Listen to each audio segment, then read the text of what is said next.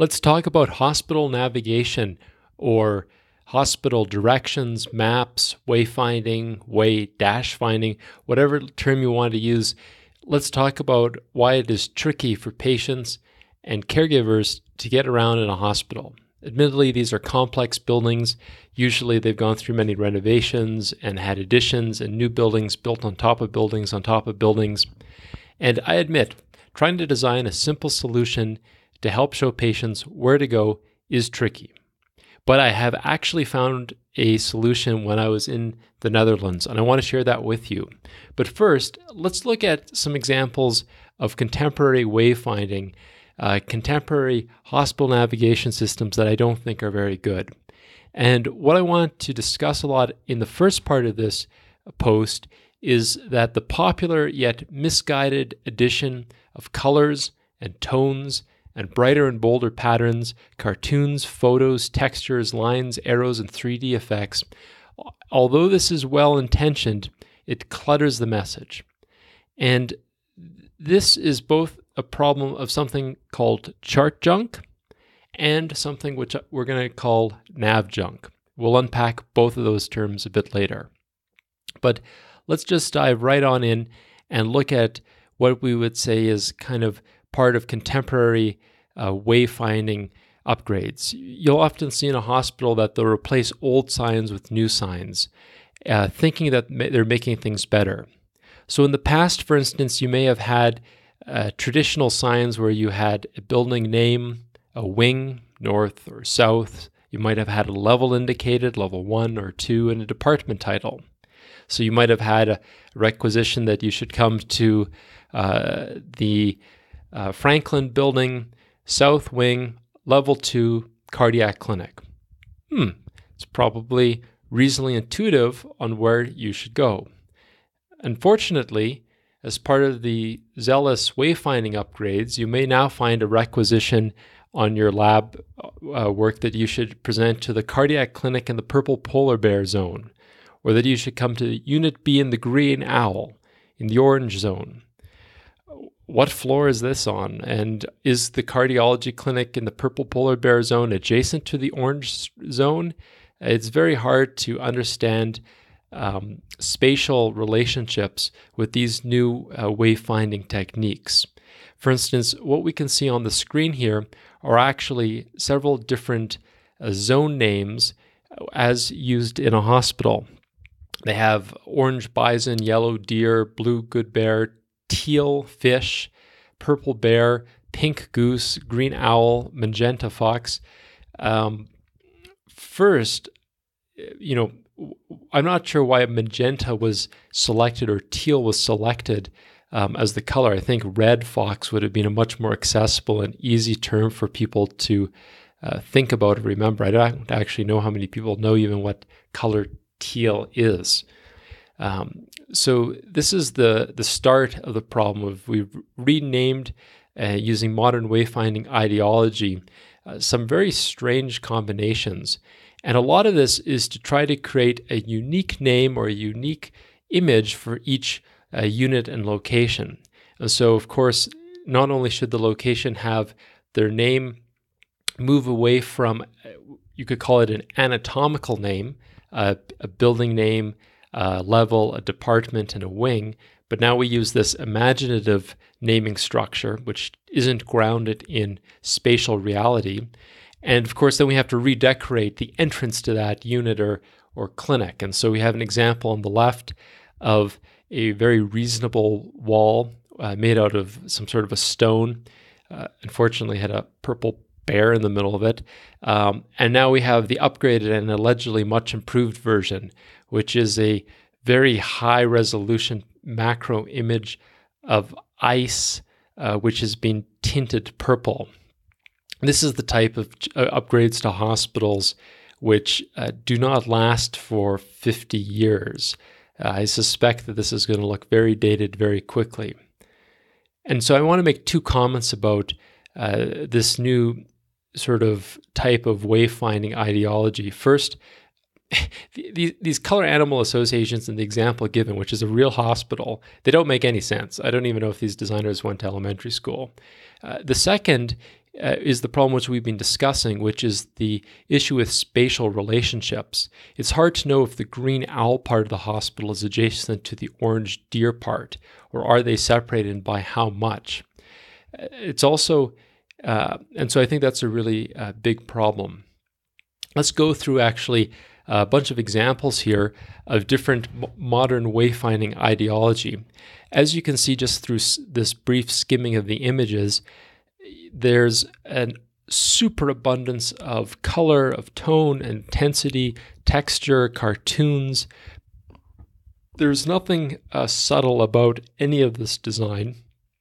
And so it's it's there's a an ideology here that if we just make it bigger and bolder, people will finally figure out how to get around this building.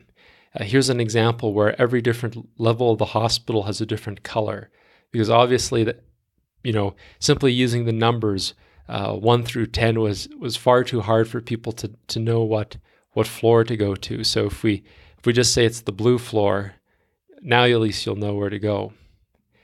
Um, you know, here's another example of uh, at the top an arrow pointing to 3A, 3B, to the orange elevator, the brown elevator, and then some washrooms, which are probably just generic washrooms, um, but they're on green backing. So I don't know if the color here has anything to do with it, but I suspect the color here has something to do with it. So we have an inconsistency of part of the icons in this image, the color means something, and part of them probably mean nothing. It's bizarre. Um, yeah, I'm not sure what the value of calling the third floor beach and the fourth floor savannah is. Uh, I, saying that I'm going to the fourth floor probably would be reasonably intuitive. Uh, oh, this is great. We've got a purple sign with white text on it.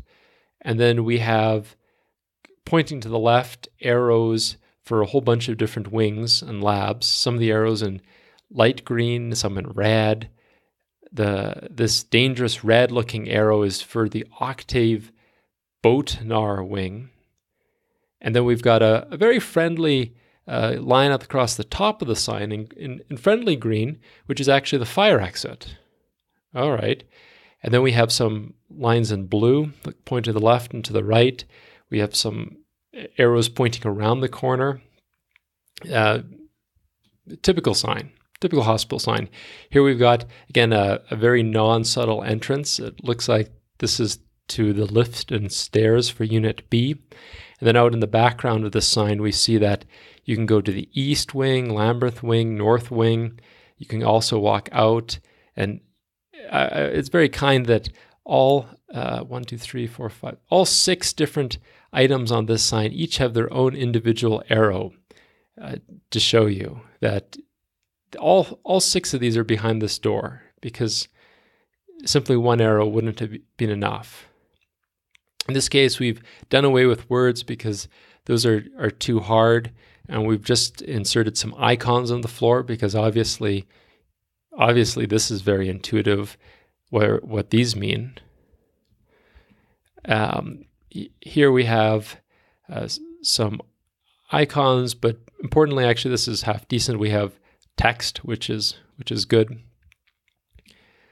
Ah, this sign. What a disaster. So this is kind of the, the best of all wor- worst worlds. We have a whole bunch of really tiny writing on both sides of this sign. Each individual line they have thoughtfully indicated uh, goes either to the left or to the right. And then, in case you didn't realize that they've also added, I think, I don't know if this was added afterwards, but these giant orange arrows on the far left and far right side of the sign, uh, pointing in the exact same one of two directions, left or right, that the rest of the sign is. And then, I hate this. They've added uh, very high resolution photography with color filters over it, showing that this I don't know, what is this? An orange grain of wheat is level one. Level zero is some sort of a blue thingamabob. Two is a green leaf. And three is sky blue. Uh, here we have a women and babies unit with purple and blue. That actually is not, that's actually half decent. Uh, this unit, we've, we've got a whole, whole selection of different uh, animal associations and color associations and small fonts.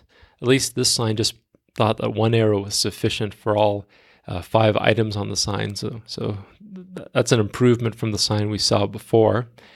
Um, here we go. We've recolored every floor in the hospital again. Uh, oh, look at this. This is not easy to read. This sign is a complete disaster. Uh, if if someone tried to present this, they, they should just be fired.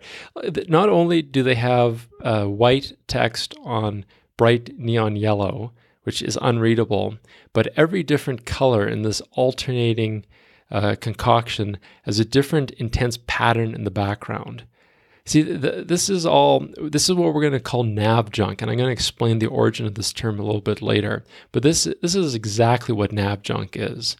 This is a perfect example. Uh, here we go.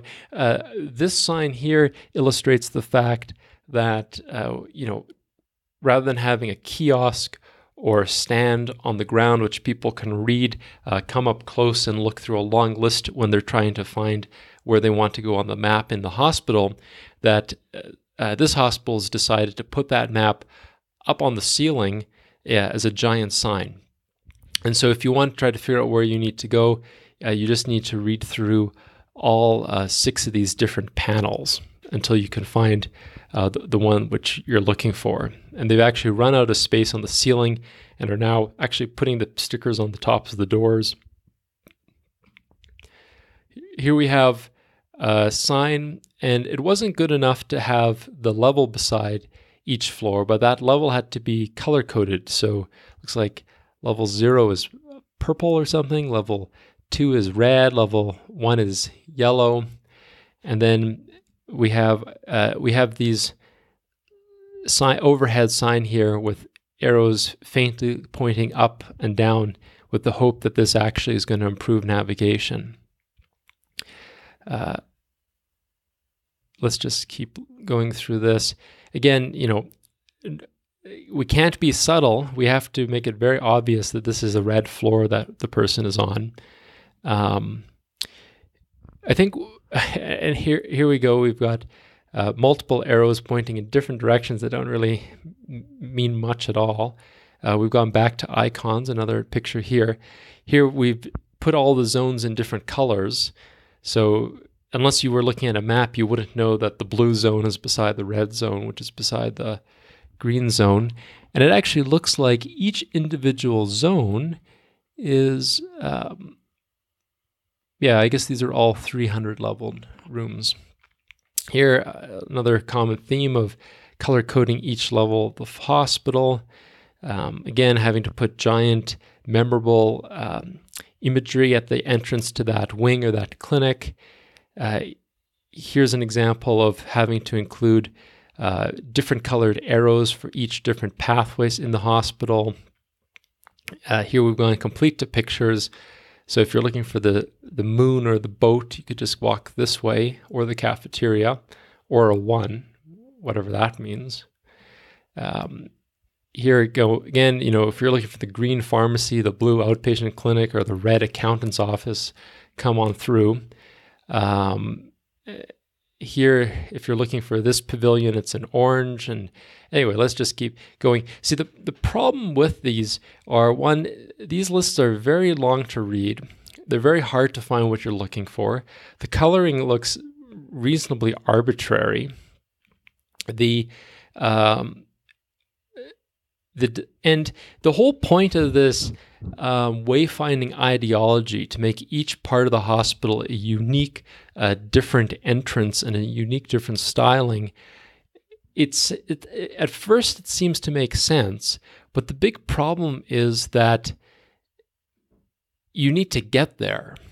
So simply having a bright red textured door at the entrance to uh, the ward on the south wing on the fifth floor um, texturing the door red won't know, allow you to know how to get to that door if you don't improve the navigation system. And I think that's the real um, problem with all these different uh, things we're looking at is it's just adding in a lot of visual distraction without actually making it easier to get to the end destination. Right? So, you know, here's an example of this red textured floor on a magic wall on a random floor. How does this massive investment of cost uh, and disruption of the natural architecture of the space actually make it easier to get to this part of the hospital? And the fact is, it doesn't.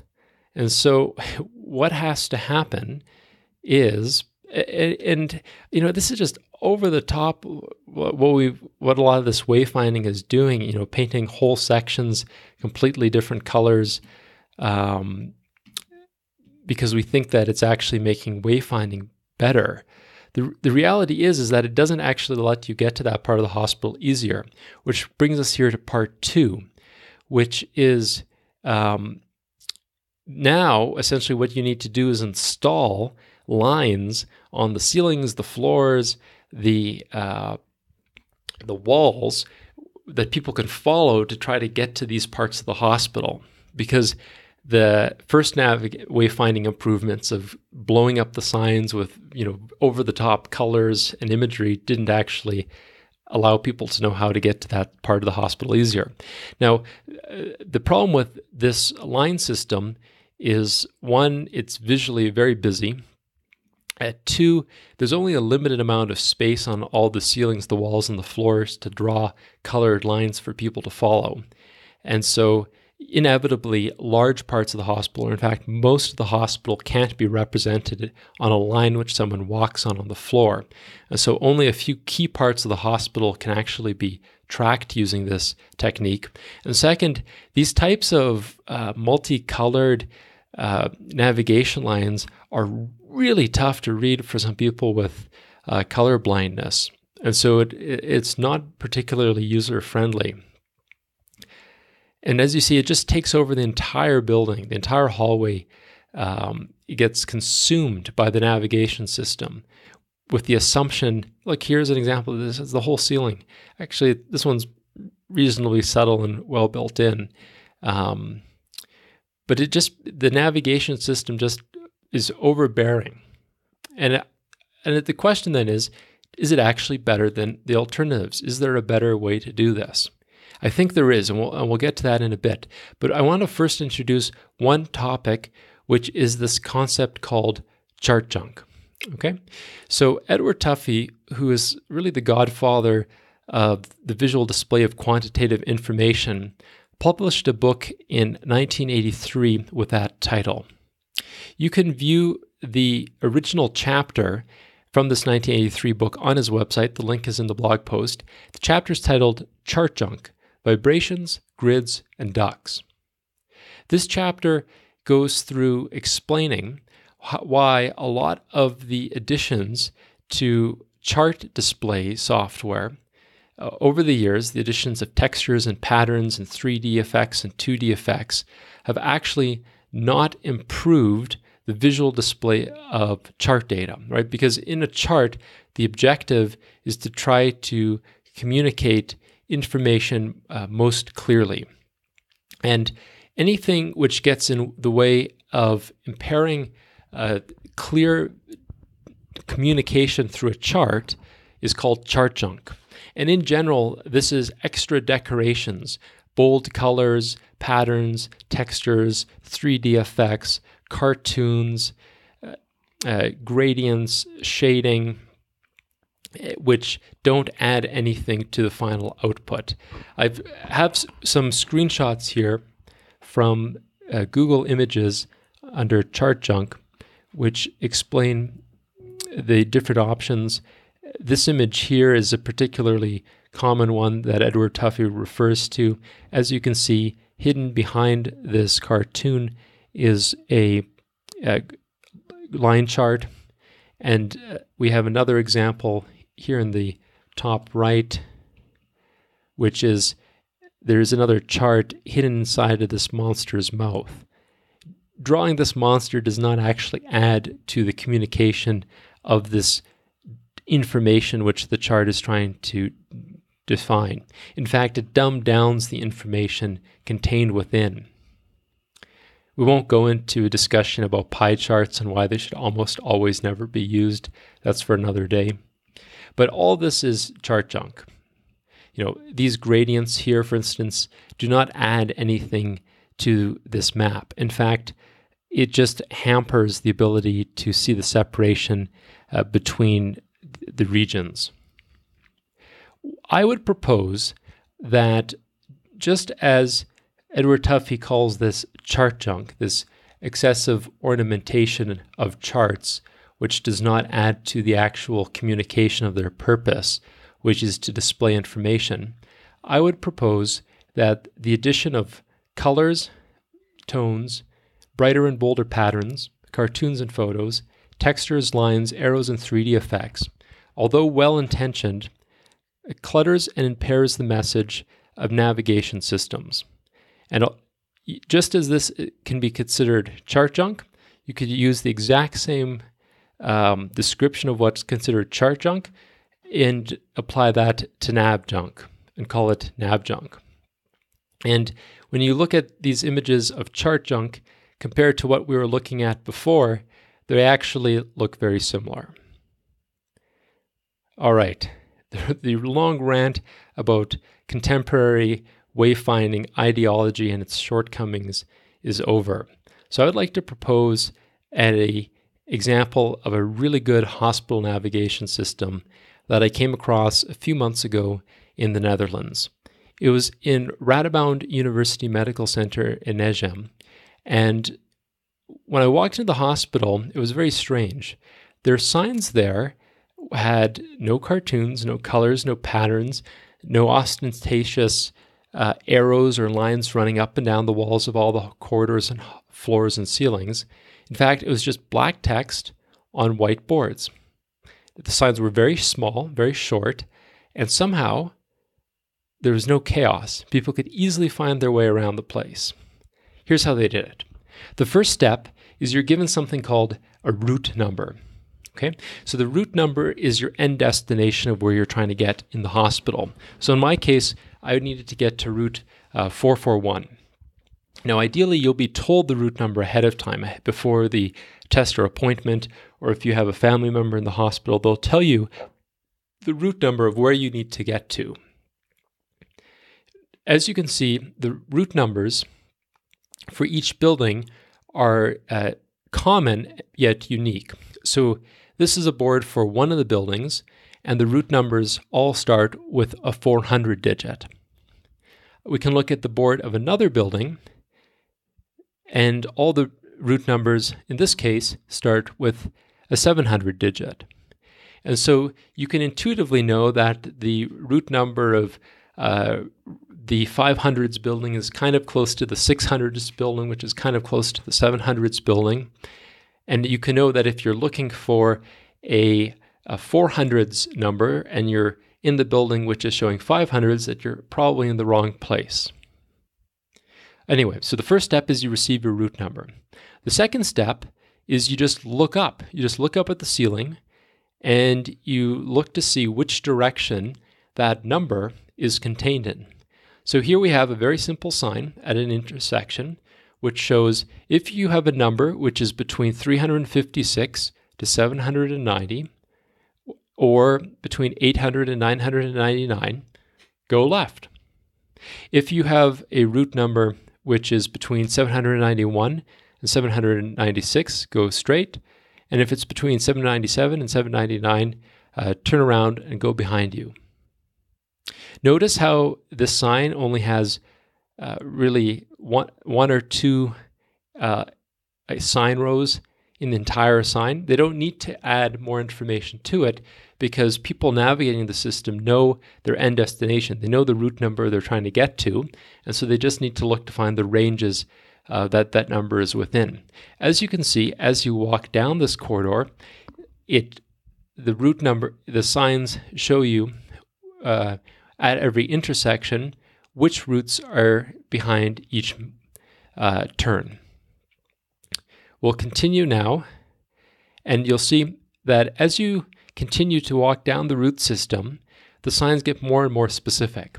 So at the start, it gave us a range between around 300 and 1,000. Now, as we walked further, it's showing us just down this quarter is routes 450 to 460. If we take this sign here, you'd go between 440 and 490. Again, they're able to accomplish all this uh, navigation without having to have lines on the floors and on the ceilings and on the walls. You just follow very simple, subtle signs uh, that can be placed at every single intersection throughout the building. When you finally get to a sort of an end part of this route system, in this case, route 797 to 799 is just to your right. Uh, you'll then perhaps have a sign at the entrance uh, showing you the title of that route. And you'll notice this sign is just very classic, very classy. It's just a normal sign. It's not been designed by someone whose first cousin is Comic Sans, and there's no chart junk on it. In this case, we were looking for uh, route uh, 441, and it's just behind this wall here, as you can tell by this number range indicated on the sign. So this is a really uh, great system. It's really fast to navigate because if you think about it, every time you come to an intersection, all that the signage has to show you is which set of numbers is left, right, you know, behind you, and the other direction. They don't need to list the name of every department and every unit in each of these directions every time. The other big advantage is that you don't need to put lines up and down the entire hallways. And unlike those line systems where you can only have a few different uh, departments represented on the line, this uh, number system allows you to actually represent all the routes in the entire hospital you're trying to get to. And so I do think that um, this route system number system is a good uh, method. It could obviously be improved. For instance, I think it would be helpful to have some kiosks in some of the main atriums where users uh, could type in the destination they're looking for, and then perhaps it would print out a small piece of paper with the route number they're looking in order if they didn't know it ahead of time. Uh, and in addition, it would be nice if in some way that the route number could allow you to know what uh, level that particular route you're looking for is on, if it's the first or the second or the third floor, for instance. Um, those would be the two big suggestions. Uh, as a final comment uh, on this term chart junk uh, and uh, nav junk, if uh, anyone has any suggestions, I would be uh, quite willing to and quite interested to, to know them. Some other terms which were used included navigation junk, direction junk, map junk, wayfinding junk. Um, in the end, Peter Liu suggested that nav junk is probably a better and the best system to go with. I looked it up online, and there's only nine Google results uh, for NavJunk at this time. So, if you wish, uh, it would be great if we could popularize this term to describe the excessive ornamentation of navigation systems, which actually detracts from the objection, the objective of a map system, which is to help someone to get to their end destination, not to uh, create over the top, ostentatious uh, wall decorations, which actually don't help um, get through and figure out how to navigate a hospital.